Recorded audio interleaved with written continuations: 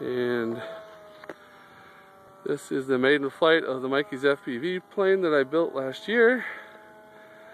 Has the Eagle Tree Guardian in it. It's in 2D mode right now.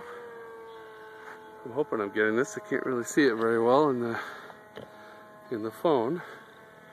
There's Daniel flying it again. Ooh, scaring me. You scare me more when you fly, dude.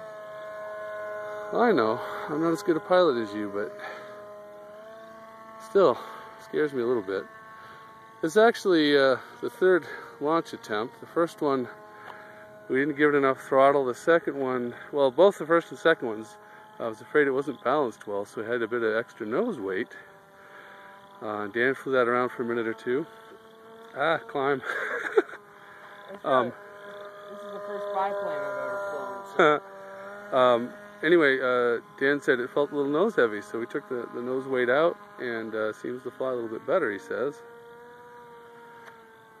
I don't think you've trimmed it at all, Dan. Is it, uh, no, not trimmed right now.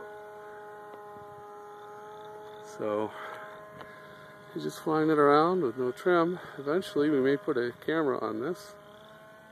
Uh, Oh, we will. We will. still amazes me that a plane that I can build out of foam core will fly. And uh, gee, that's that's half throttle. It's sinking a little bit, but don't dump it in the water, or I'll have to hurt you. Right, right. I'm sorry if I'm not keeping it in the camera while I'm getting lots of reflection off the front of my phone. Yeah.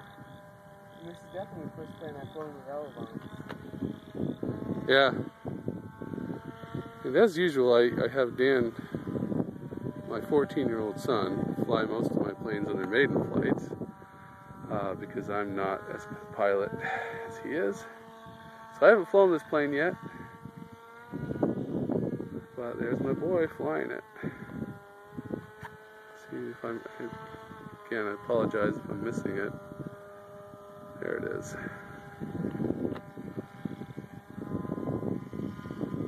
The wind's getting a bit heavy. That's not too bad though. I- You're handling it pretty well. Yeah.